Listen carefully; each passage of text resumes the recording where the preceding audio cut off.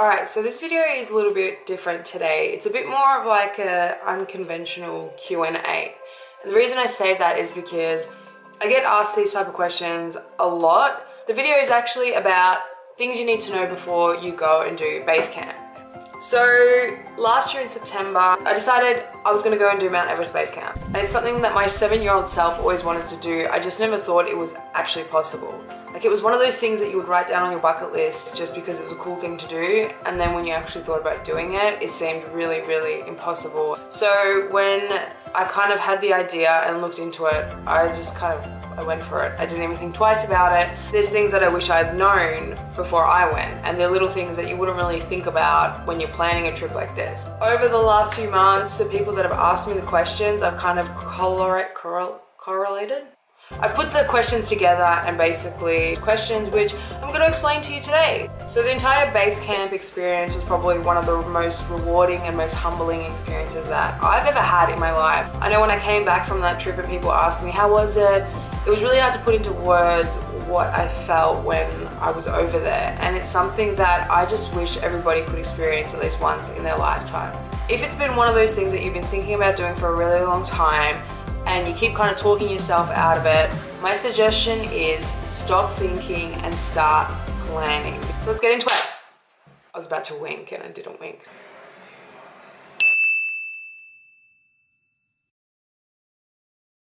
I didn't really want to look after the organising of everything because there's a lot of things to actually consider like visas, permits that you have to pay for when you're going through the national parks, when you're on the mountain and just little things like that that could really ruin your trip if you haven't pre-booked it or thought about before you leave. Yeah, I would suggest if it's a first time and you want that peace of mind, do it through a tour group because all that stress and all that planning is actually done for you. You literally just have to show up. I did it through Intrepid Travel, um, but there is so many groups out there that you can go through. So you've got option one, which is planned through a group because they'll look after everything from permits to visas to flights Doing it through a tour group also allows you to meet heaps of cool people from different walks of life and all around the world. You could plan it yourself when you get to Kathmandu. There's literally streets and streets of like travel agencies that specifically do base camp treks. Or you could do it yourself. It just would require a lot more planning, but maybe after this video you'll be able to do it on your own anyway. Next question. So when I went, I went in September and it was probably the best time of year to go. That's also what our tour guides had said. It is still monsoon season, but right, it's right before peak season kind of starts. There's not a lot of people around. Things don't get quite as expensive as they would in peak season. Peak season is October to November, December. So there's a major, major influx of tourists on the mountain, meaning the prices as you go up get more and more expensive. Also, I think one of the really good things about going in September and kind of off-peak season is that the places that you stay at, they tend to get pretty lenient because they haven't had people come and stay with them for a while. Sometimes you'll get away with paying for things a lot cheaper or sometimes for free, basically. Like we stayed in a few places where they just kind of gave us a Wi-Fi password and we didn't have to pay for it. September's probably the perfect time to go if you're planning a trip. They do suggest, and when I say they, I mean literally the locals and the tour guides, not going in March to August because it is freezing cold. Temperatures can drop to minus 30 degrees and a lot of the people that live in those villages as you get up on the mountain, they actually evacuate. I want to say that again. They evacuate because it's just way too cold. So you might find that there will be no one around. If you go through a group like Intrepid or any tour group, the treks normally go for about 17 to 20 days. They kind of vary depending on how many days you have to stay to climatize in certain places. No matter how long you're deciding to go for, whether that is 17 days, 20 days, whatever, make sure you allow two days on either side of the actual trek because things like flights can change if the weather's really bad. Like there will, there will be a no-fly zone you don't want to miss any connecting flights or flights leaving back home. So always give yourself the two days on either end of the trek. I would still suggest taking the 17 days or even three weeks to complete the actual trek itself, mainly due to acclimatizing on the way up. On the way up, we stayed two nights in Namche Bazaar, which I would highly recommend because it's the last biggest kind of village or town before you get to absolutely nothing. And we also stayed two nights in Dingboche. Make sure during those acclimatizing days, you do still go for a walk. If you go up and then come back down and sleep, that's how you actually acclimatize.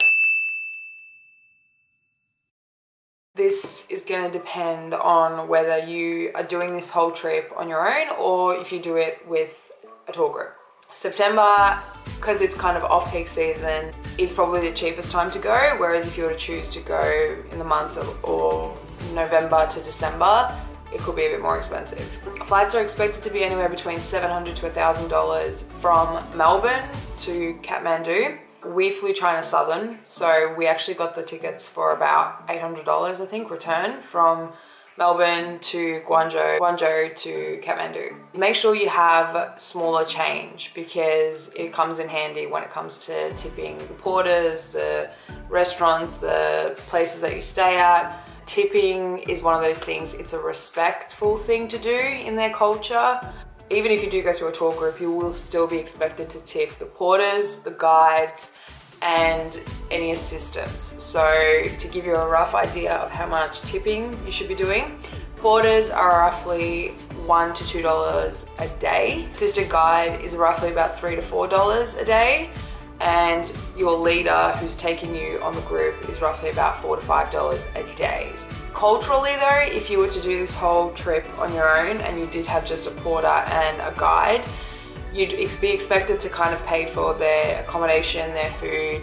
It may seem like a lot now, but when you get there and you see how these people live and the lengths that they have to go to to just carry food up the mountain, don't be a tight ass, tip generously because they're looking after you too. So don't be a gypsy. The visa on arrival is 50 USD dollars. Do the visa when you get to Kathmandu. Do not, and I'm gonna say it again, do not do the visa here in Australia or Canada or wherever you're from. It is way too expensive here in Australia. It would cost you close to about 220 Australian dollars, which is just ridiculous the lines can get really, really, really long. I know when I went, I was waiting almost an hour and a half because there was only one machine working to fill out the forms. Do it all before you go, just pay for it on arrival because it will only cost you 50 US dollars. Do not, I will repeat again, do not drink the water anywhere in Nepal. We actually got a water filter um, it was like a little pouch bag thing that you top up and fill up and then squeeze into your reusable water bottle. And that's another thing to be conscious of. Plastic bottles suck, especially when you're on a mountain. Those water pouches you can pick up for about 30 to 40 Australian dollars. It will last the entire trip. Otherwise, you can buy water, but like I said, try to avoid that because plastic money. Another alternative is you can actually buy these things called life straws, which are about $50. You pretty much just stick the straw into your bottle or glass or whatever, and it filters through the water. So they're 100% safe. We had someone in our group use it and they were fine. They didn't get sick. They were literally filling up the water from a lake and using the straw and they were totally fine. Another alternative is also the tablets that you put in the water and I wouldn't recommend buying them in Kathmandu. I would buy them at a pharmacy or chemist. So option number one is the water filter pouch. Option two is a life straw. Option three is buying water, which probably wouldn't recommend. And then there is the water soluble tablets that filter the water and clean it out for you. And no. I think altitude sickness and the locals who take you on the tours will tell you that it's just one of those things that can happen to anybody. You could be the fittest person on the planet, you could even do altitude training and still get sick. It affects everybody differently. There was one person who did altitude training in our group and he actually was the only one who ended up getting really sick. So, and to be honest with you, I think, and this is a personal opinion, doing something like this trek was more mentally challenging than it was physically. Resilience and endurance are probably the two things that will pull you through. And again, that's just a personal opinion. I think what you'll start to see as you begin the trek is that you'll take three steps and you'll be out of breath. The best advice I can give you in regards to altitude training and altitude sickness is don't be a hero. Listen to your body. If there's times where you need to stop and breathe, do that. There were times where I would take four to five steps and be completely out of breath. It felt like I just ran a marathon when all I did was climb up a little rock. So for me, the biggest things were concentrating on my breathing and hydration. Seven liters of water was what I was drinking and you will need it. I'm telling you now, water is water and breath and breathing correctly is what helped me get through the whole trek without getting sick once. Before you even start walking for the day, you drink two liters of water before you walk out the door. Whilst you're walking, I had one of those camel packs in my backpack, so I ended up drinking about two liters whilst I was walking until we got to the next stop. And then before you go to sleep, again, about one to two liters at least. No, I didn't. Only thing I took on that whole trek was Nurofen. I'm not a doctor by any means, but Diamox is a blood thinner, as I learned on that trek. So it allows your red blood cells to grab and hold onto more oxygen, which is why people take it. If you feel the need to take them and you're a bit worried, by all means take them. Again, do not recommend buying them in Kathmandu. I would stick to getting a consultation from a doctor and getting them to prescribe you something. I freaking loved the food in Nepal. Like, honest to God, if you're a vegan, you will be absolutely fine because all they eat is like potatoes, veggies, and dal. As you get higher and higher up on the mountain, food gets more and more bland even the locals will recommend not eating the meat. One, you don't know how long the meat has actually been there because on off seasons, they tend to just freeze everything. But so when you see things like yak steak, I don't know how long that yak steak has been sitting there. So foods that you need to try, Sherpa stew is like a must the dal bhat. And the thing with dal bhat is it's their national dish. So if you do order it, you actually end up getting free refills. So if you're super, super hungry, I would actually suggest getting that because you'll get a refill. The garlic soup, they actually recommend and say that help it helps with like stomach bugs and altitude sickness as well. So that was actually really, really good. Don't eat meat on the mountain or eggs or cheese or anything like that because yeah, you don't know how long it's been there for. Try and eat vegetarian most of the trip because you won't get sick that way. And try dal bhat, Sherpa stew, and the garlic soup. So they recommend that you bring 40,000 rupees. Oops. It ends up being about 522 Australian dollars or 346 USD. So that's to cover your food and snacks and toilet paper, whatever, anything you need.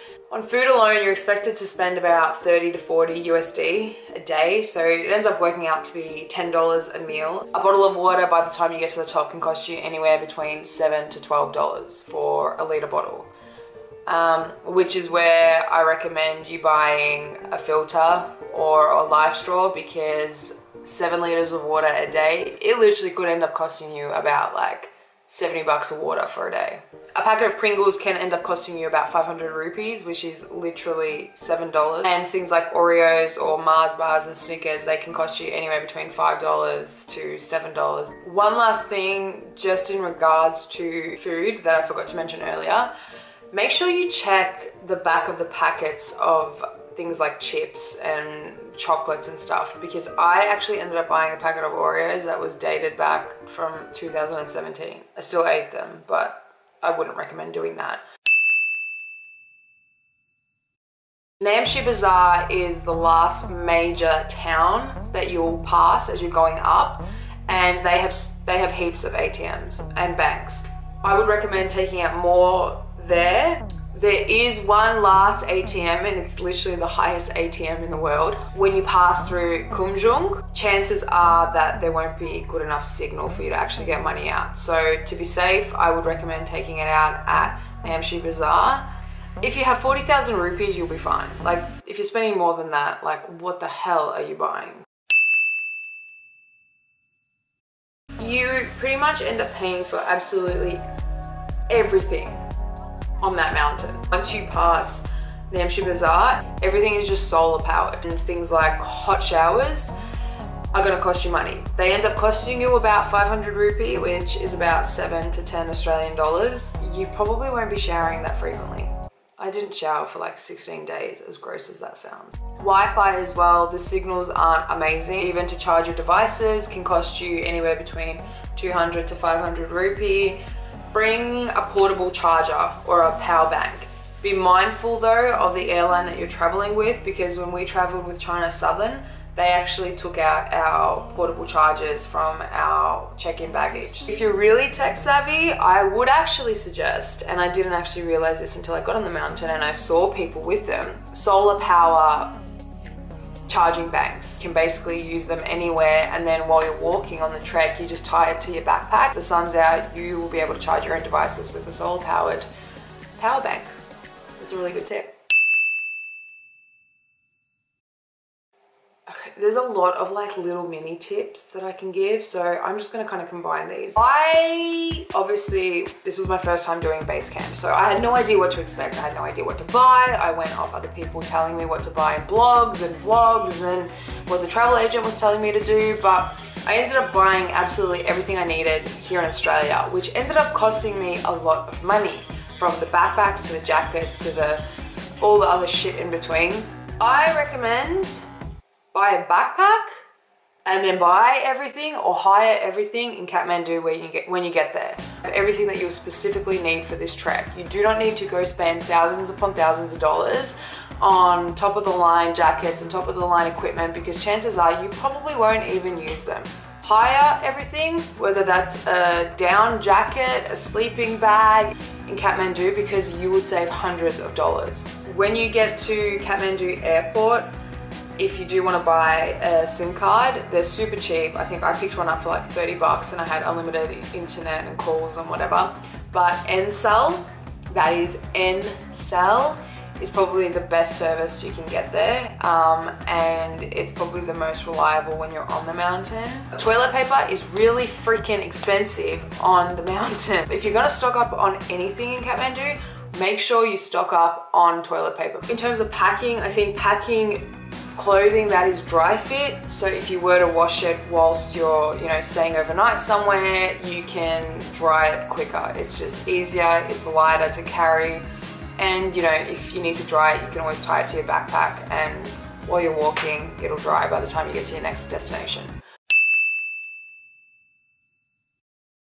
The best piece of advice I can give you if you're prone to blisters is wear two pairs of socks. I wore like a thinner pair of socks and then a thicker pair of socks every day when I was walking and I had no blisters. I didn't even wear my boots in. One other tip that I got told before I left and it was really, really, really cool to experience is when you fly out from Kathmandu to Lukla, make sure you sit on the left side of the plane because that's where you'll get the best views of the Himalayas. It is the most amazing and liberating feeling and sight to see when you're coming up through the clouds and all you see are just those mountaintops. So that of all the things I've told you and all the recommendations I've given you, that is probably the best one. Sit on the left side of the plane.